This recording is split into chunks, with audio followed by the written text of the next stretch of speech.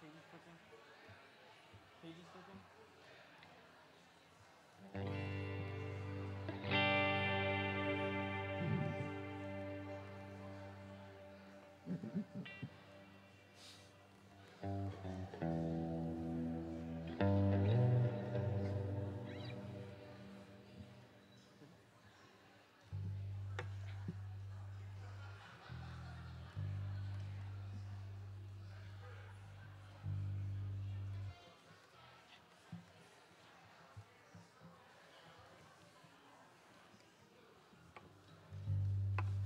Good morning, church. How's everybody doing this morning? Good. Happy Father's Day to all the fathers here. Thank you guys for just an amazing job that you guys do leading families. And we all please stay with us this morning. And we're going to sing The Solid Rock.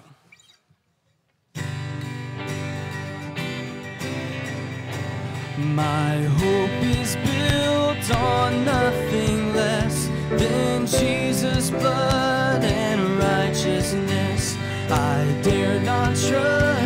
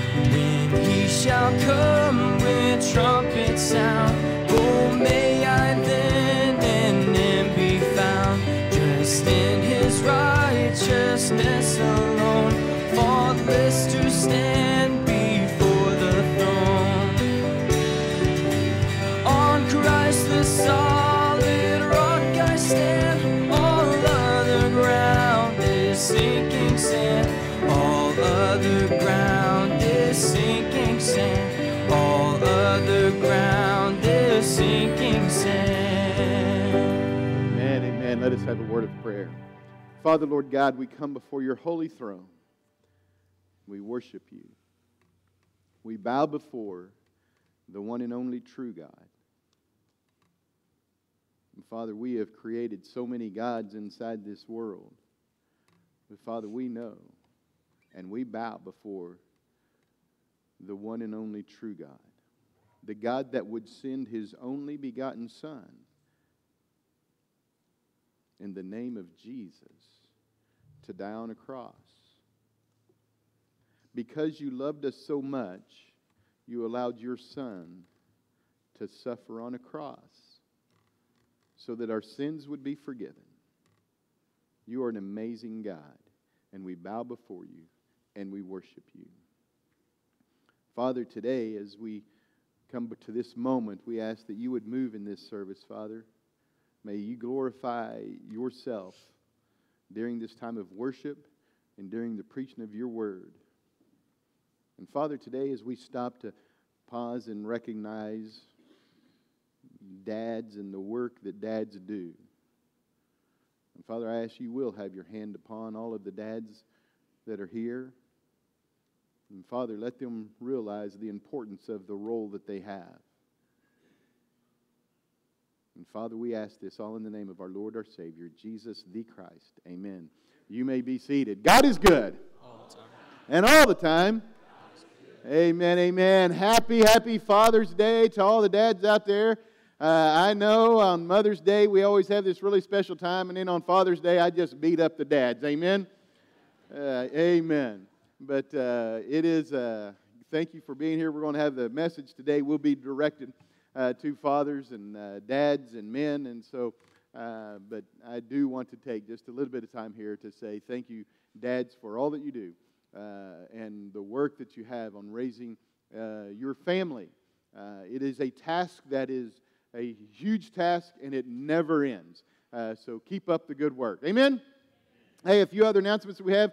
Uh, first off, shirts, they're back there to be picked up. Folks, you got shirts back there. If you ordered a shirt, stop and pick them up. Uh, there's a little uh, plate there for you to pay for them. Just write on your check uh, that it's for the shirts uh, and drop it in there. But if you've not picked up your shirts, please do so. There's still some back there that are left. Also, Vacation Bible School. you notice the big banner that's out uh, in the foyer. We also have the banner down there. Uh, we've got the sign right over here, and we've got sign ups back there. Folks, we haven't had very many people sign up, so we need you to get your kids and your grandkids and everybody signed up as we are making plans for Vacation Bible School. It will be the last week of July, uh, and so be uh, making plans and bringing your kids and your grandkids. Uh, and how many shoe boxes are we sending out? 1,500 shoe boxes. Folks, I got some uh, great news this week. Over at the Shoebox Workhouse, we had eight ladies over there working. That, uh, that ministry is growing, and if you want to be a part of it, at 10 o'clock on Tuesdays, just show up over there at the house, uh, and I think I'm getting something. There were nine people. All right, we had another. Oh, it's at 9 o'clock. I thought there were nine people. Mm, uh, if I would have been there, that would have been nine. Uh, and by the way, a lot of times I say women, but men can come up there and work. Folks, come as a couple. If you're retired, don't have anything to do, go over there. Uh, enjoy the time uh, of work for the gospel. Folks, it's about the work for the gospel of Christ. But we also still need 450 uh, bars of soap. So buy some bars of soap, bring up here uh, so that we can uh, get all of the bars of soap that we need. All right, kids that are in worship today that want to go to Children's Church, you can head right over here. And I hope that somebody is there. Aaron, you might want. Oh, no, Deidre's up. Whew. Ah, sorry. Yeah, you're going to you're going to guide them. Excellent. Well, you got one coming. All right, Sean, you're too old. Sean stood up like he was going to leave. Hey, if you're a guest with us in the chair pocket in front of you is a card that looks something like this, please fill that out and drop it in the offering plate when uh, you leave, as we'd like a record of your attendance. And with that, I'll turn it back over to Brother Seth as we continue our worship. Y'all please stand with us as we sing How Good Our Father Is. Oh, I've heard a thousand stories of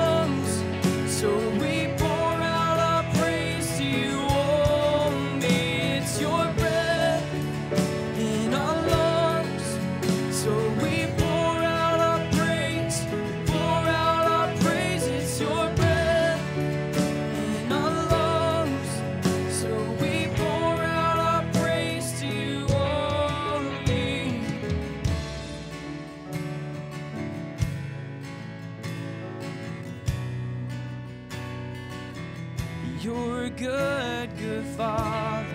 It's who you are. It's who you are. It's who you are. And I'm loved by you. It's who I am. It's who I am. It's who I am.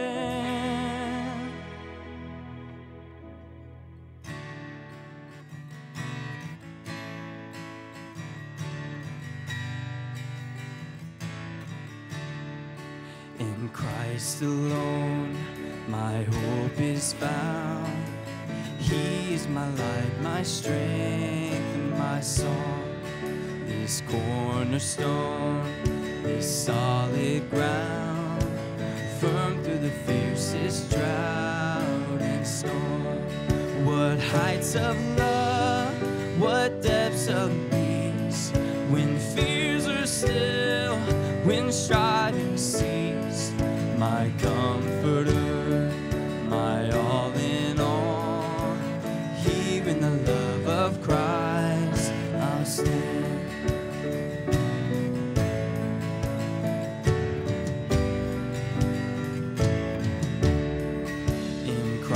Alone, who took on flesh, fullness of God in helpless babe.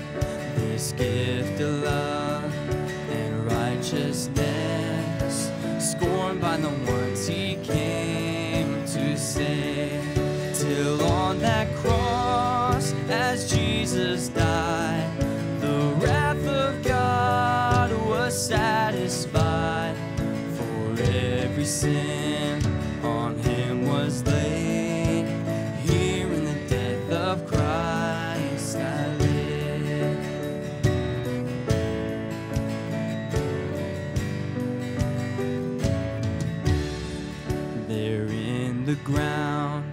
his body lay, light of the world by darkness. Let's sing then bursting forth.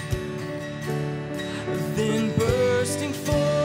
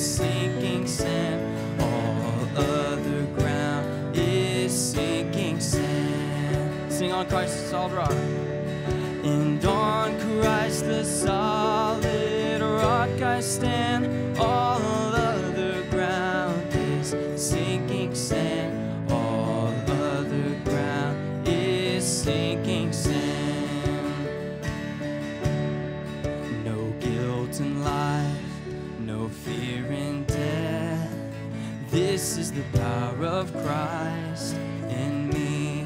From life's first cry to final breath, Jesus commands my destiny.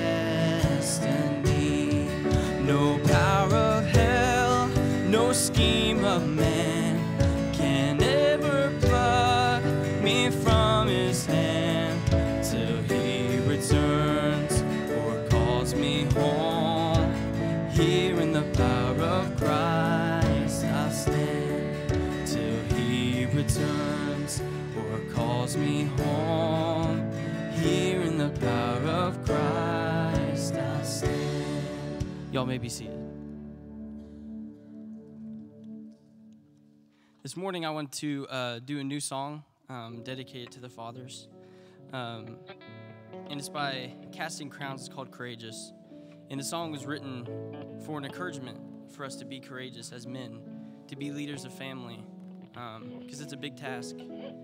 And so I wanted to do this song this morning for just an encouragement for us to be courageous and um, how we are the warriors for our family. So we're going to sing this song for y'all. We were meant to be courageous. We were meant to lead the way.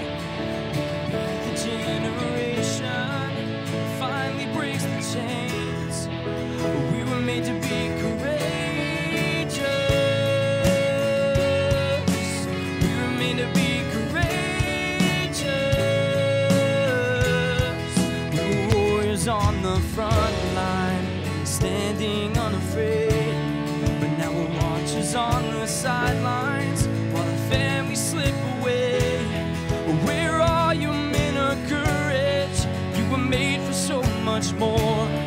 Let the pounding of our hearts cry, we will serve the Lord.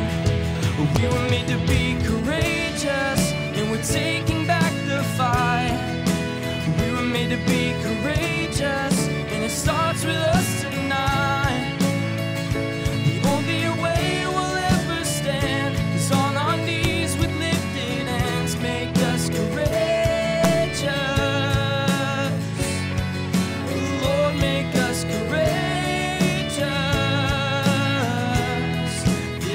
is our resolution, our answer to the call.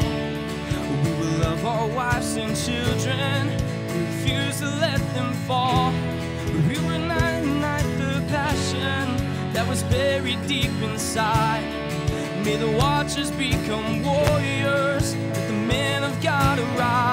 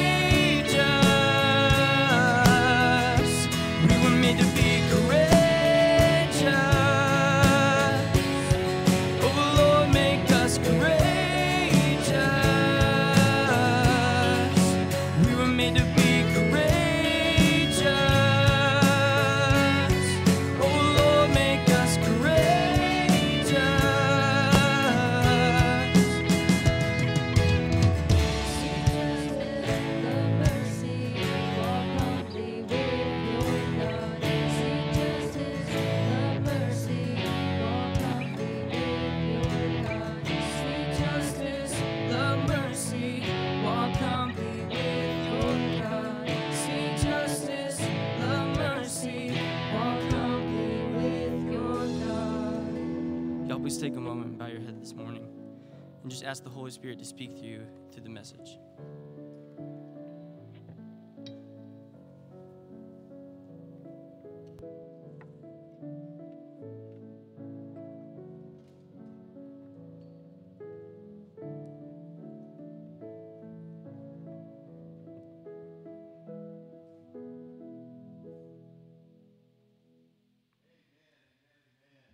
good and all the time. I, uh, I love that song, Brother Seth, Courageous. In fact, uh, uh, there was a movie uh, that that song, I think, was uh, in as well. But uh, that song about men, about dads fighting the fight for their wives and their kil- children on their knees with lifted hands. Uh, folks, I think there's a battle out there for the family, uh, and the, it is an attack on the family and I want to tell you, and we're going to be talking about today, I think it's men need to step up and be, the men that God's Word has told the men to be. Amen? Ooh, that's a lot of men's and amens in there. Um, but I do. Today we're going to um, pause from our normal preaching verse by verse. Um, I'm going to start in Hebrews, so you can flip your way to Hebrews. Uh, but I normally preach verse by verse, and we're in the book of Matthew, but uh, this week I'm going to pause and I'm going to preach a message uh, towards dads and for Father's Day. Um, bless you. But I will tell you that um, women, that, and I say this on Mother's Day for the men not to check out, I think there's some stuff in here for women as well. So I think everybody, if you'll get your notes, pads out, and pencils, and be ready to hear from God today. But we are going to pause and we're going to recognize our fathers. And I will tell you that it's an honor that I have every week to be able to stand up here and preach God's word, but it's an honor to be able to do that in front of my own dad, who I love dearly. I am so thankful that God blessed me to have the dad that I have. I don't tell him often enough how much I'm thankful for him. His guidance, his leadership, just representing Christ my entire life. I remember that day that I surrendered my life to Christ. It was my dad that was preaching that day, and my dad that took me down to Bear Creek and baptized me. I'm so thankful that I have had a dad that has passed the baton of faith along to me. And I will tell you, I would can't imagine that I would be doing what I do today if it wasn't for the mom and the dad that I have. And I've just wanted to pause and personally thank them for uh, their guidance throughout the years. But on Father's Day, to say to my dad, thank you, I love you very much. Uh, he is a good, good man. Uh, dads, it is a great responsibility that you have. And last year I shared some stats, and this year as I prepared this message, I thought, you know what, I'm going to share these stats again because you have to grasp what, uh, what is at stake with dads. And, and we're going to be talking about this, these stats have, they're talking about fatherless dads. Can I tell you something? I think a dad can be a fatherless dad even though they live in the same house. I'd like somebody to think about that for just a moment. Did you know that a dad can be a fatherless dad? The, the family could be a fatherless family even though the dad lives in the house? Amen? There is such a thing. And so, whenever I talk about these stats, I want you to, to be mindful of that. It says that 63% of suicides are from fatherless homes. 63%. Says that 90% of runaways are from fatherless homes. 71% of high school dropouts. 71% of the people that drop out of high school come from fatherless homes. 75% of adolescents that are addicted to chemicals come from fatherless homes. 75% of kids that are addicted to chemicals are from fatherless homes. And then it says 85% of youth that are in prison are from fatherless homes. Dads, you've got a great responsibility that impacts not only you, but the children that God has put in your care. Your job is important. Your task is a huge task, and it never ends. You are a dad, and God has called you to that task. Today, we're going to be talking about your role and some challenges that I have for dads. This message has been on my heart for several months now, and I pray that it comes across to the men and the dads in here in a way of encouragement, but also conviction. I'm going to ask that all of our dads please stand, and I'm going to lead us in a word of prayer as we begin. So if our dads will please rise.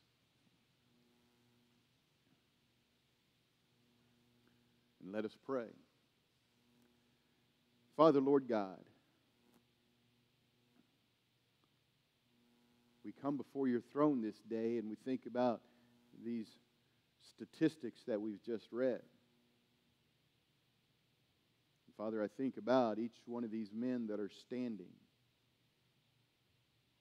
And Father, I pray that they know the responsibility that is upon them. That, Father, that they are called to teach their children your words. Oh, Father, your word is very plain. That we are to pass down our faith from generation to generation. That we are to teach our children how to study God's Word. That we are to teach our children how to pray. That we're to teach our children the miracles that you have done inside our lives as a way to illustrate to our own children about walking with you. And Father, I pray that the men that are standing, that if they're not living that type of life, that they would begin. But Father, I also want to ask that you would encourage and strengthen each one of them, but let them be led by your Spirit. And Father, I ask that you'll have your hand upon them.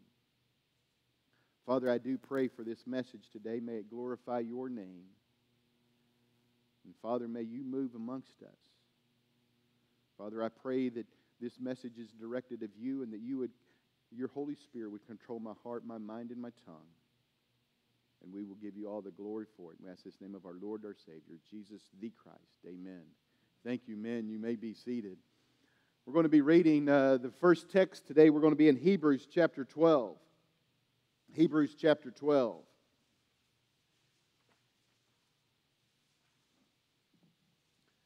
I want to read verses 1 and 2.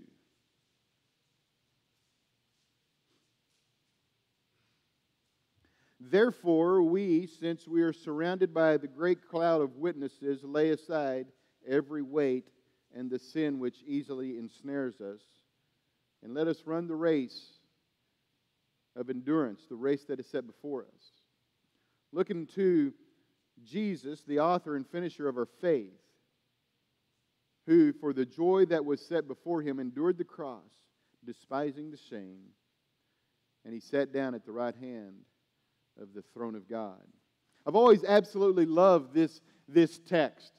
This text that we look at today and this image that is set before us when you read what is going on about this cloud of witnesses. And, and I'll tell you, if you came and you had a conversation with me about this text, I, I could only give you my opinions because there's some stuff in here that I'm just going to tell you, I don't know that I fully understand exactly what is being said there, but it paints this image of this cloud of witnesses, these saints that have gone on before us that are actually kind of watching and encouraging the events that are going on. Now, I don't know that that's exactly what it is. I, I do believe that in the spiritual world uh, that we certainly have uh, spiritual beings that are paying attention to everything that's going on. But it paints this picture of, of this, uh, this watching that the saints are doing, that, that we're surrounded uh, by. But I also think that we have saints here that are surrounding us, that are watching us. But the image to me has always been like this stadium. Uh, like, yeah, how many of y'all been to like a football game and you see a big stadium and a crowd of people and they're watching the game that's taking place? Whenever I read Hebrews chapter 12, verse number 1, that's the picture I have in mind of, of this stadium uh, and this game is being played uh, on the field, and we are the players of that game, and there is this group that are watching all the activities that are going on. Uh, and, and in the stadium, they're cheering and they're, they're watching. And this verse goes on and compares it to a race. A race. And every time I've read this verse, uh, it seems to paint in a picture in my mind about the Olympics. I, I don't know about y'all, but I, I enjoy watching the Summer Olympics, the marathon race. Are y'all, anybody else enjoy watching the marathon race? I'm literally the only one. All right. Y'all will watch the marathon. I love watching the marathon race at the Olympics. Let me tell you, since y'all don't watch, let me tell you what happens. Like, how can you miss that? That's an important race. They start the race, mile one, the gun goes off, and everyone takes off. By the way, they're really fast. There's a crowd that is there cheering for them, and they, they take off at a very fast rate, and they get to mile 10, and then to mile 15, and now uh, they're, they're halfway through the race, and they've been running with all that they have, you know, just kind of this pace. They look so natural as they move uh, through the streets, and they get to mile 10, and, and then they halfway through, and then they get out to this point where it's typically somewhere around mile 17 to about mile 20 uh, 22 or something like that, where folks, you're out there all by yourself, almost always in a marathon. You run this place where it's just, there's no one there, there's like no real houses around, no traffic, and the only thing that you can hear are your shoes hitting the pavement uh, and the breathing that you have, or the breathing of someone around you. But you're out there and you're running this race and you feel like you're all alone. But then as you start to come back and you get to about mile 24 or mile 25, somewhere in there, the crowd starts to form on the, on the uh, side of the road. And as you get closer to the end and you're about a half mile out, all of a sudden you start hearing this noise uh, and this kind of rumble in the distance. And it's everyone that's waiting in the stadium. And then as you come through, now the lines are the sides of the highway are packed, and you run down the road and you run inside the stadium. And as soon as you step inside the stadium, the roar just explodes. And you run a lap around the Olympic Stadium to finish the race. You see, I, I see these runners that, that are running in front of a group of people that are cheering for them and they're running with everything that is that they can. That's what this scripture talks about. And it says to lay aside every sin that weights us down. Can you imagine if one of these runners decided, hey, I'm going to carry 30 pounds of extra weight with me when they run this race? They don't. They say, let me get away, get rid of everything that hinders me from running this race. In fact, the very ounces of how much their shoes weigh, they pay attention to. Because they want to be able to run the race that is set before them. You see, that's the, that's the image and the picture that you have inside this text. And man, I'm going to tell you that, that as we are running our race, there's, there's people that are cheering us on. Some time those people that are cheering us on are your, your spouses, your wives, sometimes they're your children. But I also saw thought of something, and folks, I'm going to tell you this is really, really deep. So y'all get ready to write this down. Everybody got your pencil and paper out because this is really deep information. Y'all ready?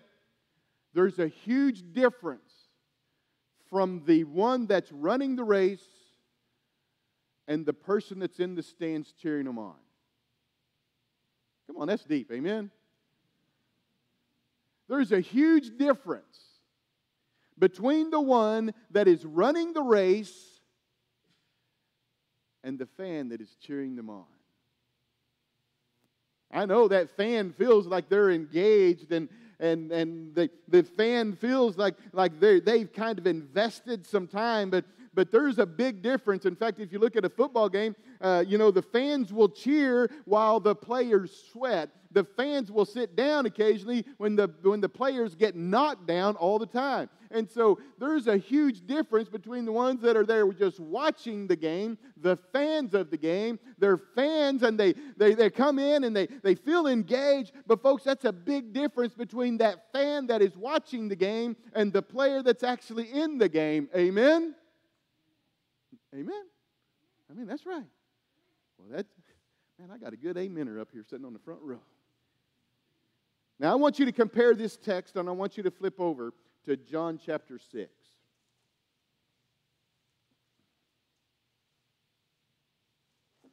John chapter 6.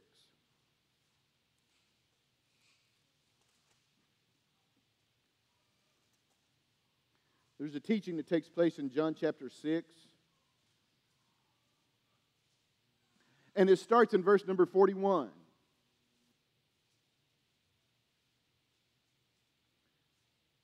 There's some stuff, Jesus, the crowds are getting very large, and he's teaching. And in verse number 41, he says, Then the, the Jews then complained about him because he said, I am the bread which came down from heaven. And so you see that this is kind of the starting point that these Jews had a problem with what Jesus was saying. And so what Jesus does is in verse 43 down to verse number 51, Jesus kind of just gives a dialogue to them and actually takes it even further than what he had said before. In fact, look at verse number 47 as Jesus understands that these people are now upset. So Jesus is going to talk to them about them being upset. In verse number 47, he says, Most assuredly I say to you, he who believes in me has everlasting life. I am the bread of life. So Jesus talks about, hey, the bread that came down from heaven, and now he says, I am that bread. And so Jesus explains this to them. Guess what? That didn't make them any more happy. Look at verse number 53. He says to them, Most assuredly I say to you, unless you eat the flesh of the Son of Man and drink his blood, you have no life in you. You see, these people started getting mad about the teachings of what Jesus said. Jesus is explaining the gospel to him, to this group, and then he makes it, they, they get mad at start, so he kind of doubles down. They get mad again, and so he comes in, he says, Hey, you just need to know that if you don't eat the, the flesh of the blood of, of the Son of Man and drink his blood, you have no life. But Jesus didn't stop there. Look, look what happens in verse number 60.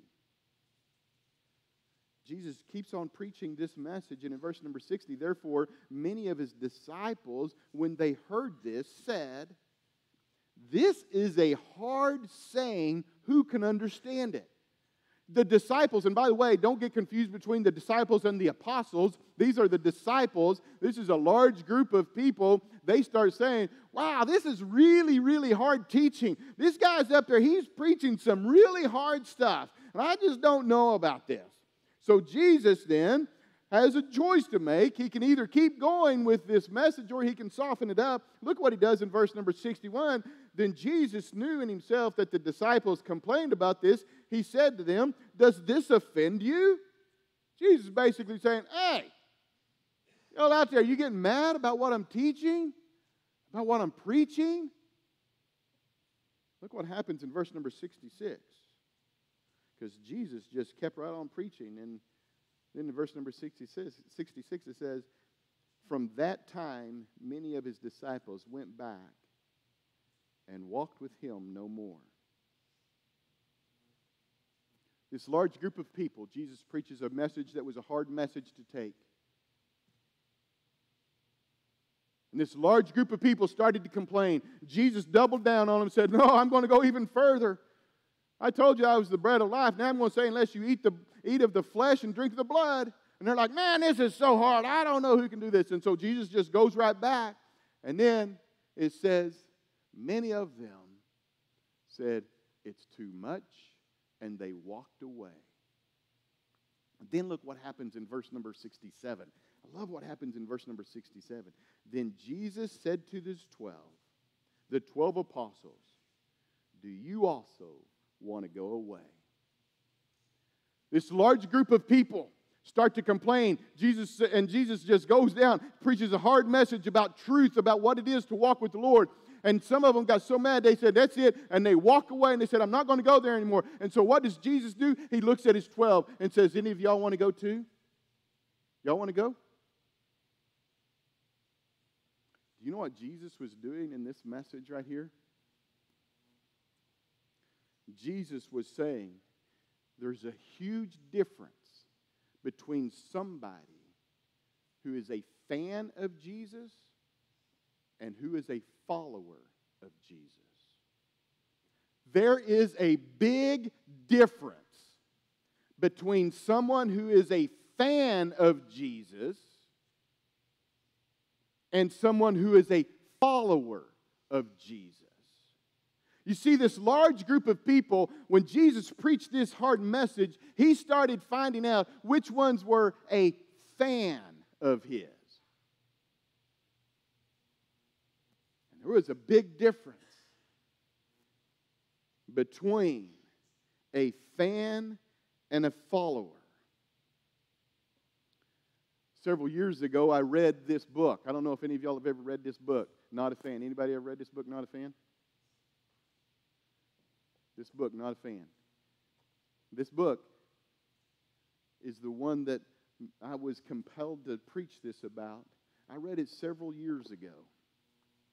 And then I picked it back up because I've been thinking about our men's ministry and where our men's ministry is going and what I think that uh, we need to do with our, our men. And, and I was reminded of this book. And inside this book, it asks this question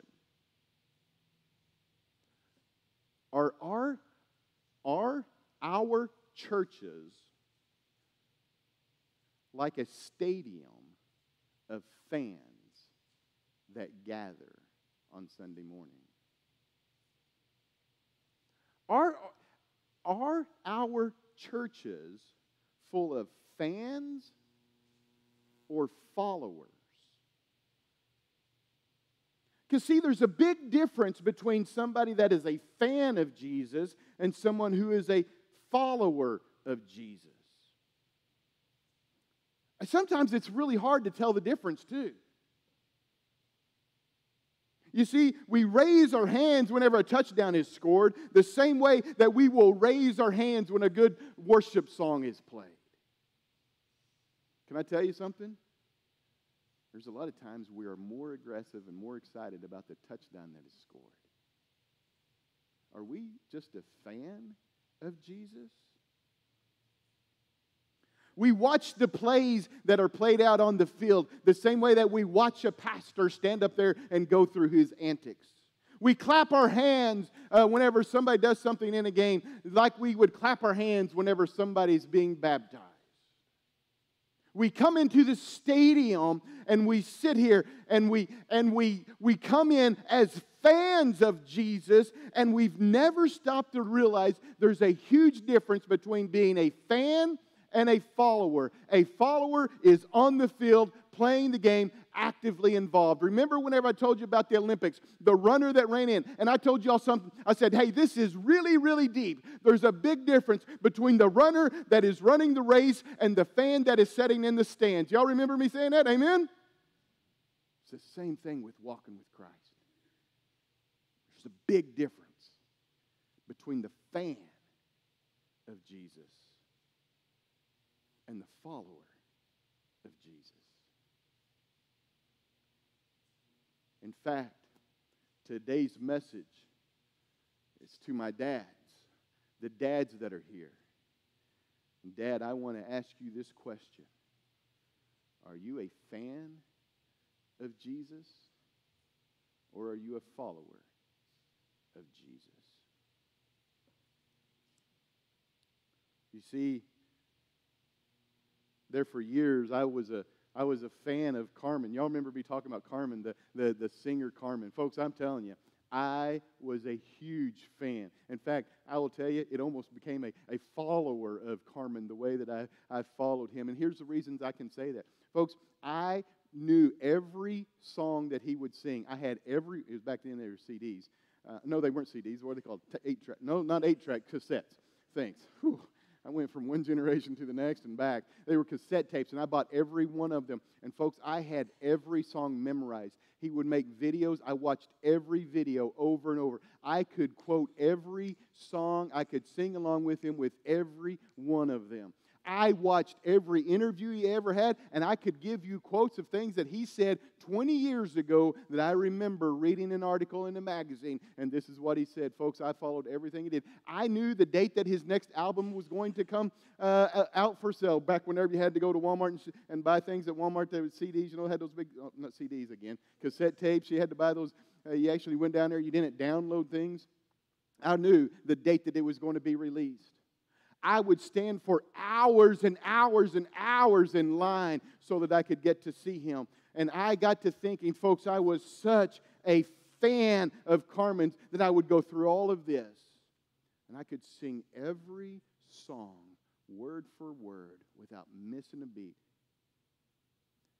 But now I sit there and go, why is it I say it's hard to memorize Scripture?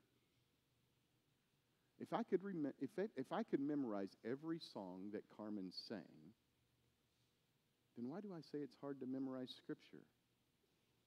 Was I a bigger fan of Carmen's than I am a follower of Jesus? I think about people inside Scripture that, that we have as examples that are people that are true followers, that, that, that truly have, and you can look at their lives and you can say, man, they were a follower. They were all in. They weren't just a fan. See, a fan sits in the stands and claps their hands. A follower is in the game and they're actively engaged. Paul the Apostle, folks, he was a follower of Jesus. Think about this. He was stoned to the point of death, drug out of the city. They stone him and they think he's dead. And then he wakes up, kind of dusts himself off. And what does Paul do? He gets up and goes right back into the city that tried to stone him. Folks, that's somebody who is a follower of Jesus, not just a fan. What would a fan do? Not got stoned in the first place. What an example.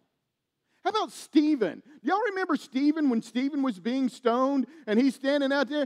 And I and folks, we don't think about the stoning of Stephen. I want you to think about what Stephen said as he's being stoned. Who knows what Stephen said as he was being stoned? Father, forgive them. He's like, these people that are hitting me with stones, he's like, Father, don't, don't hold this against them. Forgive them for what they're doing. Folks, that is a follower of Jesus, not a fan.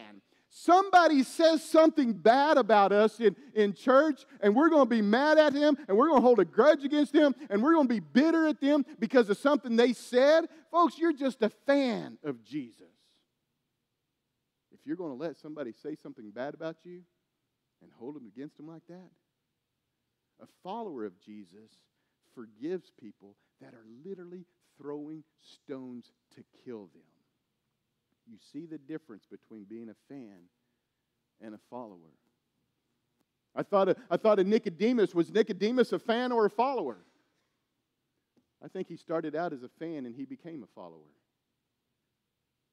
And today, today, I want us to ask this question Are you a fan? Or are you a follower? And I'm going to ask you all some questions for you to define that. You see, a fan, and, and let, let me start with this. Folks, a fan is absolutely fine with doing some touch up work on who they are. But Jesus wants to do a full renovation. A fan doesn't mind if you do a little tune up, but Jesus wants to do a full overhaul. And a fan doesn't want a full overhaul, they just want some, some touch up work. And today, as we look at this question, I'm going to go through some things and I want you to evaluate are you a fan of Jesus or are you a follower of Jesus?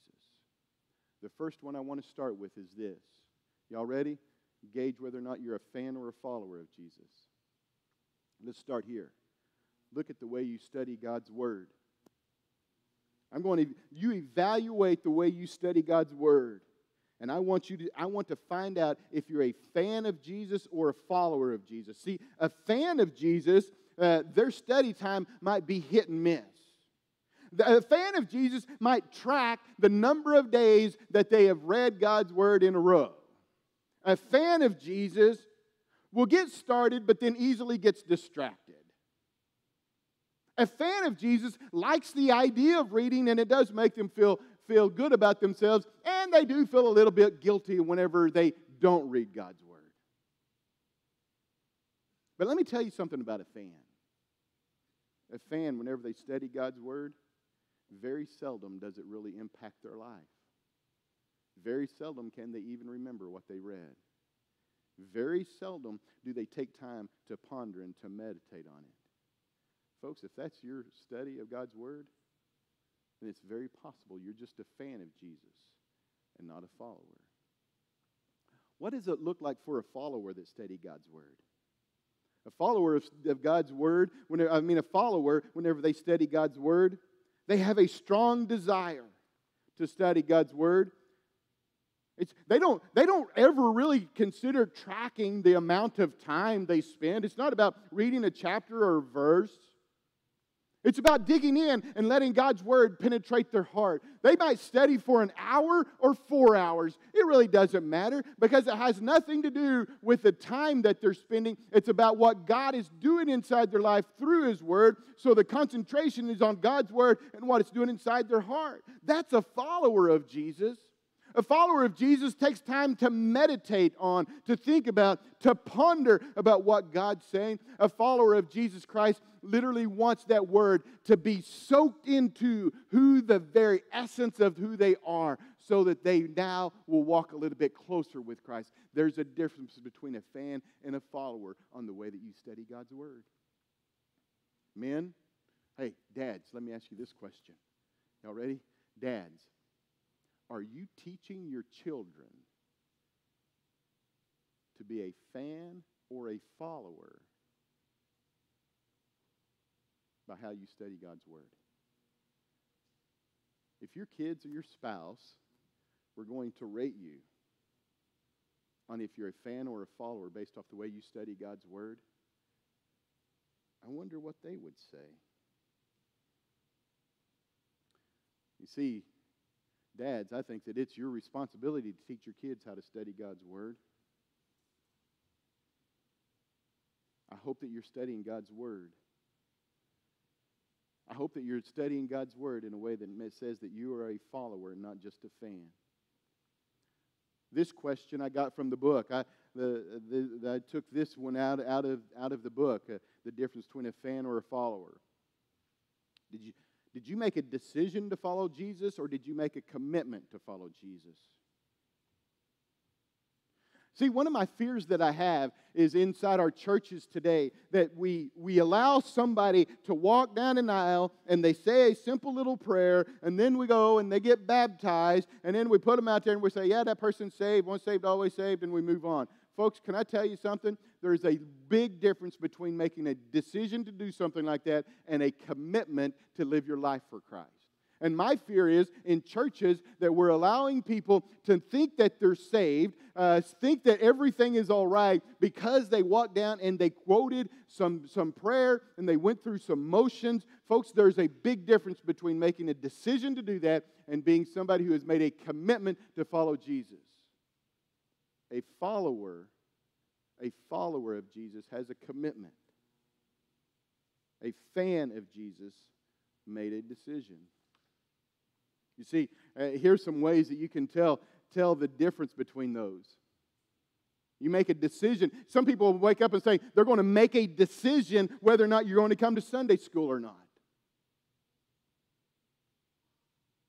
Some people make a decision whether or not you're going to come to Wednesday night Bible study. Can I tell you something? I was thinking about this, and, and I, I don't want to I don't want to go too crazy on this, but I think it's interesting if you compare the church in the United States to the early church as it began. Isn't it interesting that we used to meet regularly? You know, back in the old times, they'd, they'd meet multiple times a week, and then we went to uh, Sunday morning, Sunday night, and Wednesday night, and then, then we're like, oh, Sunday night's too much, and so we cut out Sunday night, so we now go Sunday morning and Wednesday night. And on Wednesday night, folks, I'm just going to tell you, we have such a small group here on Wednesday night, and I say, well, I wonder which ones were fans and which ones are followers. The early church or the church today? Because the early church, you know how often they met? Every day. Compare that to what we see on a Wednesday night. Where do we have fans and where do we have followers? I think there's a big difference. I know, I know. Some of you are like, all right, Josh, you're, you're, you're, you're putting too much on, on the way people respond and that they show up for something like this. Folks, I'm telling you, somebody who is a follower of Jesus, they're going to be in church wanting to fellowship, wanting to study God's word, wanting to be engaged. They're going to be here because they're a follower. They've made a commitment. They love the Lord with all their heart, mind, soul, and strength. They are more than just a fan who's going to show up when it's convenient for them. Are you a fan or are you a follower? Have you made a decision or did you make a commitment? I just looked at the time and I'm running way behind. so I'm going to jump to this one. I'm going to skip down to the very last one to tell whether or not you're a fan or a follower. Are you a fan or are you a follower on your view of sin? You see, a fan, a fan will try not to commit sin. A fan will ask for forgiveness. A fan will know scripture about saying uh, things about forgiveness. A fan believes that the old man still dwells within inside them, and the old man can, can you know, do things to cause them to sin. And the, oh, and the fan will say, God is faithful and just to forgive me. And folks, all of that is true. But compare that to what a follower does. A follower hates the thought of sin. A follower is like, my Savior died for that. A follower, whenever they know that sin is inside their life, they would rather not eat than to continue with sin in their life. You see the difference between a fan and a follower? Somebody that's following Jesus, they're like, man, I've been set free from this. I can't let this stay inside my life. Folks, I'm sitting here I'm like, inside our church with our men, are we just fans of Jesus or are we followers of Jesus? I'm going to do something different today during invitation. I want to do something different today during invitation. Today I'm going to I'm going to ask that folks that you consider that question. Have I just been a fan or am I a follower? We're going to open up the altars to pray. And I'm going to ask, even if our men want to come and pray for their own walk with the Lord, about being a fan and a follower. And if you're just a fan, that God would convict you to be a follower, that you would follow Christ with all your heart, mind, soul, and strength. But I'm going to ask also that the dads that might want to come and pray for their family, for their kids, for their spouse. You see, a follower of Jesus is not afraid to come to the altar and pray. A fan will say, I can pray just easy right here. Not that you have to come to the altar. Folks, I'm, I'm not trying to convict you like that. In fact, that's what I wanted. Just start moving. The altar is open for anybody that wants to come. Go ahead and start singing, Seth. Oh, to Jesus I surrender all. To Him I freely give, and I will ever love and trust Him in His presence daily live. I surrender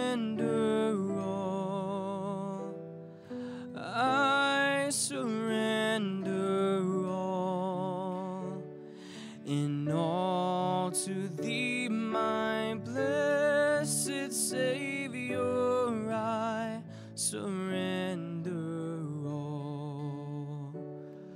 And all to Jesus I surrender humbly at his feet I bow.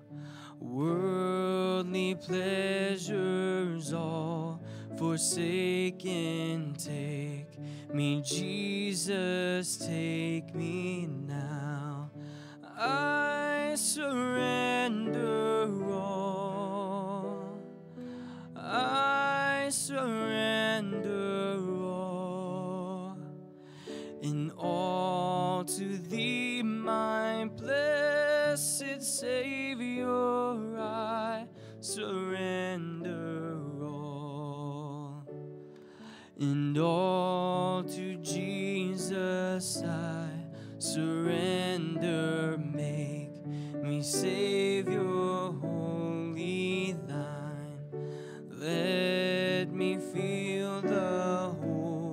Holy Spirit truly know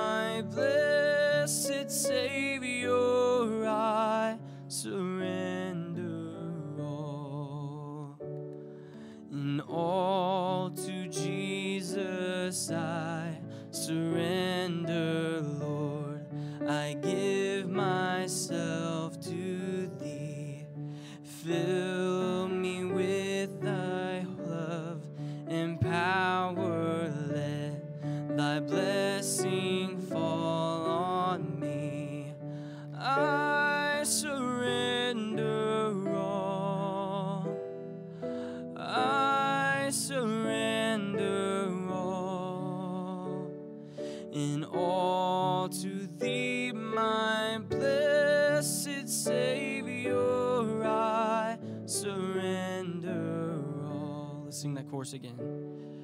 I surrender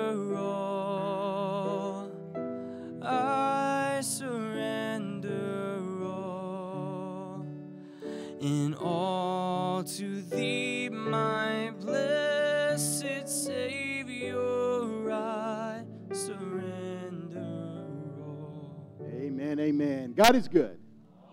And all the time. Amen. Isaiah uh, has been talking actually for several weeks now about uh, what salvation means and, and uh, how to be saved. And he um, uh, talked to Missy and Kelly this weekend, and then he came in and talked to me this morning. Uh, and we talked in detail about it. And then he said this He said, Hey, um, I want to I want to think about it during Sunday school, and then I'll come forward during service. Uh, and so this morning he comes and he says that he realizes that he is a sinner and that he wants Jesus Christ as his Savior.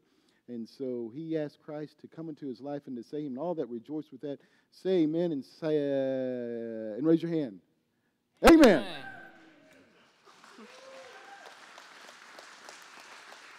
Amen. Some- We're going to uh, we're going to sell. We're, he's going to have a baptism. Uh, we're going to talk to his mom and dad about coming, uh, so that they'll be here for the baptism. Uh, but we also have another baptism today. I love it whenever we get to uh, have baptism, and so I'm going to go get changed. Uh, so hold on for a baptism. I'm going to turn it over to Seth. He's going to lead you in a song or something like that.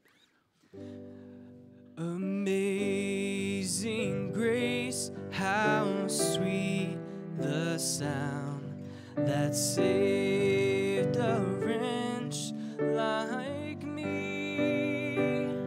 I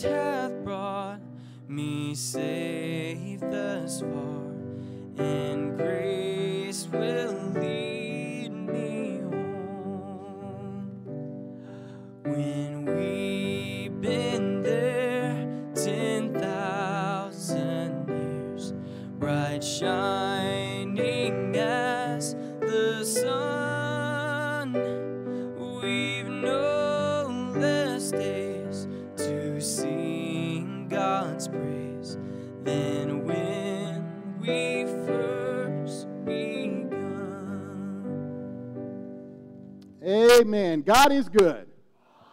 And all the time. Amen. Uh, this is Olivia. She has been uh, visiting our church, and uh, last week she uh, she came and she wanted to talk and uh, wanted to talk about what baptism was. Uh, and so we spent some time just sharing in, about what Christ had done on the cross and what sin is, and that somebody you know surrendering their life and the importance of it. And at that point, she said that she really wanted Christ as her Savior. And then we talked about baptism being the death and burial and resurrection of Christ and the picture that she's going to paint here today. And she said that uh, she absolutely wanted to be saved and baptized. And so this morning she comes uh, for this. Olivia, do you know that Jesus Christ died on the cross and that he rose the, from the dead and that he uh, died for your sins and that he is your Lord and Savior? She testifies saying yes. Then, on her public profession of Jesus Christ, I baptize you, my sister, in the name of the Father, the Son, and the Holy Spirit. Baptized in the likeness of his death, raised to walk in the newness of life. Amen. Look at him standing in here.